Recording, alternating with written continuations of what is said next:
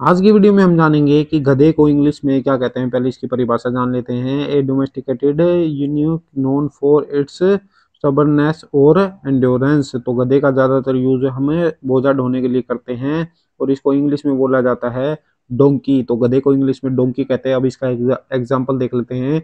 The donkey carried heavy loads up the hill गधा पहाड़ी पर भारी भारी वस्तुओं को लेकर चढ़ गया। तो अगर आप ऐसी डेली वीडियो देखना चाहते हैं इन्फॉर्मेशन वाली तो आप चैनल को सब्सक्राइब वीडियो को लाइक ज़रूर करें।